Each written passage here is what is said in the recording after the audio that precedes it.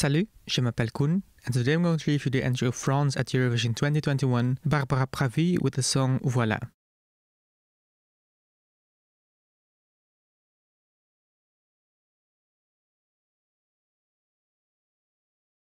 Tom Leeb, who was internally selected to represent France last year with his song Mon Allié The Best in Me, could not represent France this year because of his busy schedule. So instead of internally selecting someone else this year, a new national final was organized called Eurovision France C'est vous qui décidez, of which I kept misreading the hashtag as COVID. Anyway, Barbara Pravi entered this national final with her song Voilà. She wrote the songs for the French Junior Eurovision entries in 2019 and 2020. One ended on the fifth place and became a TikTok viral song, and the other won the Junior Eurovision Song Contest and gave gave France their first ever Junior Eurovision victory. Barbara was one of the favorites to win the French national final, which she did. Voilà was also one of my favorites to win the national final, together with Banon by Philippine, so I was glad that Barbara won. I think Voilà is a beautiful song. It's kind of Edith Piaf-like. I don't know, this song just sounds so French. Does that make sense? Like, if someone would ask me to imagine a French song, this would be it. I think the lyrics are beautiful. I only speak a bit of French, but it's pretty easy to understand, and I think the way the song is written is amazing. It really draws you in from the first second until the last one. It's really emotional, which you even can feel if you don't speak the language. France this year just shows how you can easily go from being one of the least liked songs to one of the biggest favorites from one year to another. France is one of the favorites to win this year. I think France finally has a chance of winning Eurovision again for the first time since 1977. That would also mean that France would be the first country ever to win both Eurovision and Junior Eurovision back to back and with the same songwriter. How legendary would that be?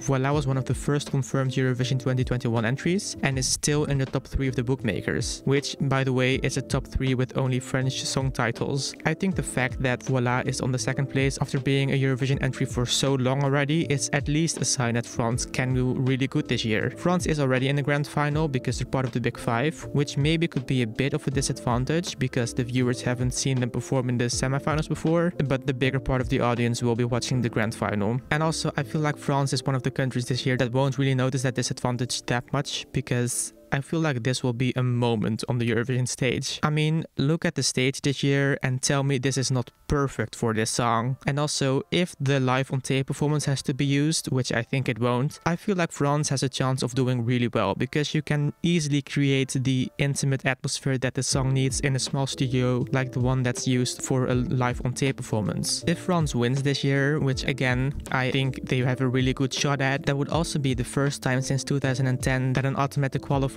wins the Eurovision Song Contest. So to conclude, I think France's entry this year is amazing. I love Voilà. It was already one of my favorites since the national final. I think France can do really well this year. I even think they have a chance of finally winning the contest again for the first time since their last victory in 1977 and being the first country to win both Eurovision and Junior Eurovision back to back with the same songwriter. I mean, again, how awesome would that be if that actually happens? I think there's a really good chance that it will. And that's about all for now. Let me know what you think of the song in the comments comment section down below. Thank you so much for watching and hopefully until next time, au revoir.